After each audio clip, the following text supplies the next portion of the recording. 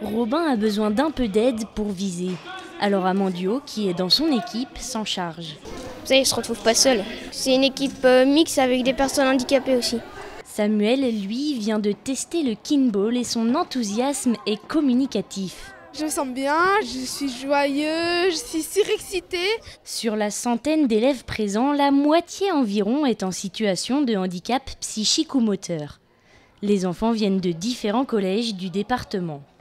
Des classes ordinaires, des classes Ulysse, mais également un institut d'éducation motrice ont répondu présent pour cette journée de sport partagé. Ce sont des élèves qui, euh, pendant les cours de sport, sont souvent en retrait.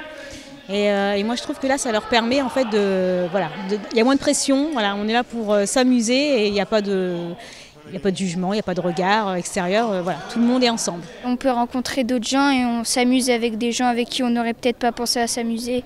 Ici, on ne parle pas de sport adapté, mais bien partagé par des équipes mixtes, chacun avec ses capacités.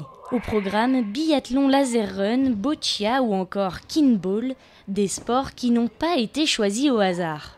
Pour gommer un peu les différences et pouvoir que tout le monde euh, y trouve sa place, j'ai préféré choisir des sports qui étaient peu connus et pas enseignés en EPS, comme ça, c'était la découverte pour tout le monde. Et euh, bah, tout se passe très bien. La mayonnaise prend, les élèves euh, jouent ensemble et il n'y a pas de, de regard un peu différent comme ça, tout le monde s'accepte.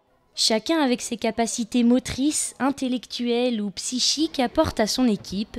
Les élèves, et c'est le but, partagent bien plus que du sport, ils s'entraident, se motivent et apprennent à vivre ensemble.